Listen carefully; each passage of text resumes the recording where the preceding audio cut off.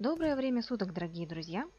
Очень много было вопросов, и поэтому сегодня я вам поведаю о трех видах управления в уже готовящейся к выходу в России игре Revelation, которая пока явила себя свету на родине в Китае. При первом заходе в игру у вас появится картинка с тремя видами управления. Можно опробовать их все, поменяв в любой момент. Итак, первый способ. Представляет собой ВАСТ с активным курсором, где кнопка Tab – это следующая цель. Подобное вы могли уже видеть в Ion и WoW. Этот вид особенно будет удобен для игроков, играющих за РДД и хилов. Цели можно стоять хоть филейной частью. Персонаж все равно будет атаковать. Второй способ. В нем передвижение осуществляется мышью. Васт работает, но делает это номинально. Курсор всегда активен. Tab – это также следующая цель.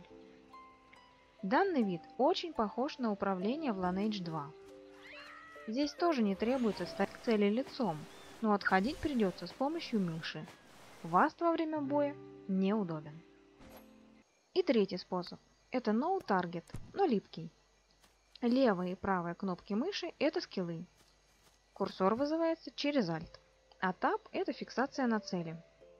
Данный способ, возможно, кому-то из воинов дальних и даже ближних атак покажется самым удобным, но не ждите от него абсолютного no-target, как в Терре.